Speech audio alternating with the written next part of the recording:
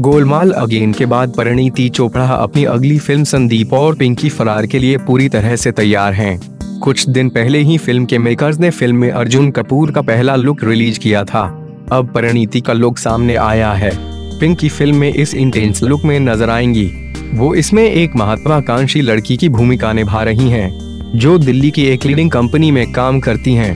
परिणीति के लुक की दो तस्वीरें सामने आई हैं। इनमें वो एक तस्वीर में जैकेट पहने हुए हैं और दूसरी तस्वीर में शर्ट में नज़र आ रही हैं। चश्मा और स्ट्रेट बालों में परी किसी बिज़नेस टाइकून से कम नहीं लग रही हैं। इससे पहले परी का ऐसा अवतार कभी सामने नहीं आया है एच टी से बात करने के दौरान परी ने फ़िल्म में अपने रोल के बारे में बताया था उन्होंने कहा था, मैं एक महत्वाकांक्षी लड़की का किरदार निभा रही हूँ, जो कॉरपोरेट सेक्टर में काम करती है वो सिर्फ़ अपना करियर बनाना चाहती है, पर आगे कहती हैं, ये एक दिल्ली में रहने वाली लड़की है जिसे पता है कि उसे अपनी लाइफ से क्या चाहिए।